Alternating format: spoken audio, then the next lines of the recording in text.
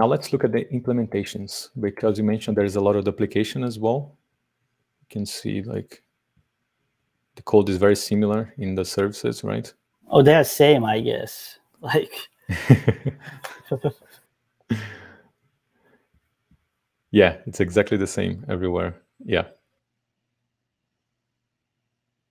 Well, it's not exactly the same. The actual map is different, right?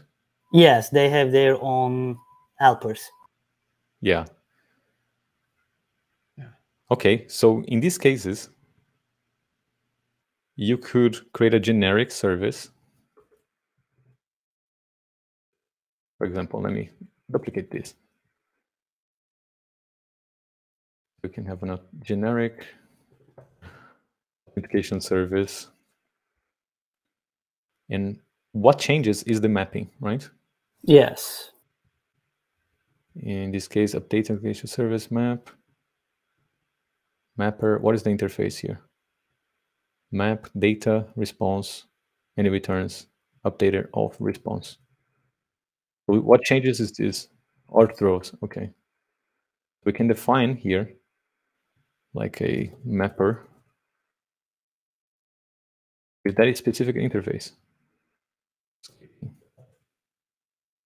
Receives data, it responds, and it throws or returns skipping or returns the response. But this response may vary per service.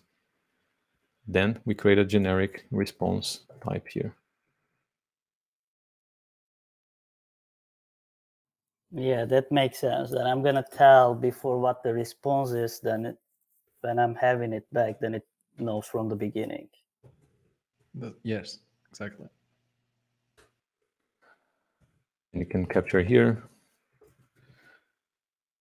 Now, we will call the mapper to do the logic for you. So when you have duplication in a service, like it's exactly the same. It's not exactly the same. There is a tiny thing that changes you create a copy of that service and everything that is the same you maintain everything that is different you inject okay right we also showed this in the live lectures you see that in detail like the step by step how to get here here i'm just showing like very quick overview but you will see much more detail there in the program so we can create a generic service and the mapping will now be defined in there. So the result type here, where is this result type here? A result type is the authentication service result type, I believe. It just, yeah, return a response or an, an error. Okay, so let's define it here as the Swift result, type response or error, or generic.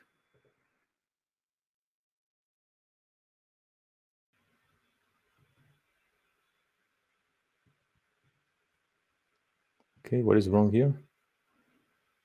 Secure response. Okay, result.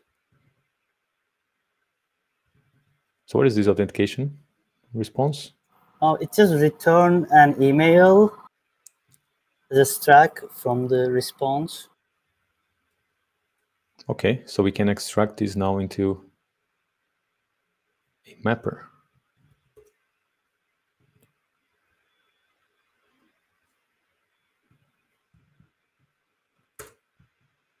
I think that's it. Now, what is wrong here? It's like a self dot mapper.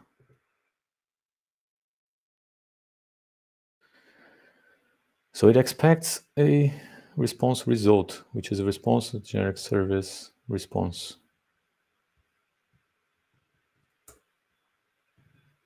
Swift or result, response or error. Oh, that's why we don't need the protocol anymore. Okay, one less error. Now what about this error? This also needs to be generic. Swift.error. This goes to the mapping logic.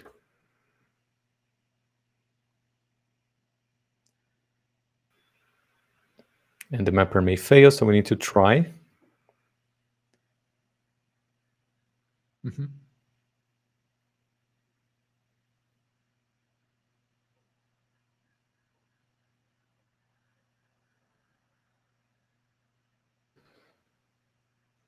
So we need to try and Do catch thing. do catch, yeah.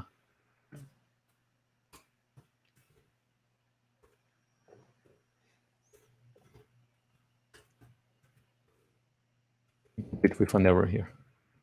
Something like that.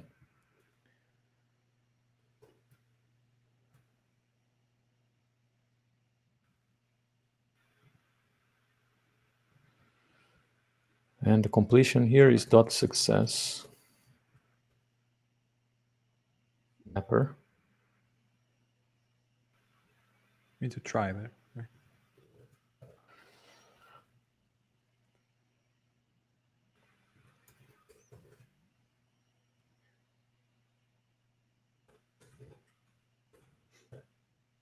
All right. Okay. There we go. So when you're creating a generic service here, then you can pass your mapper. The client, and you pass the mapper, which in this case can be this function. Where is it? The date mapper dot map, for example. Right, and then then you have another response here, login response that uses the login authentication response mapper, and you inject the mapper.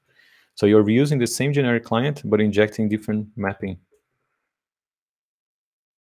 When you have a lot of duplicated code in services, keep what's the same, and everything else you inject. What is different, you inject into the component. Thus, you can have generic implementations. Okay. So every different request, we have the only thing that changes is the response mapping. Thus, you inject the response mapping. Everything else stays the same. You'll learn this more in, in detail in Yeah. the program. You'll make much more sense. And then you don't need the protocols. And then you'll see why you won't need the protocols. This is the solution. Yeah, I'm like I'm excited for it.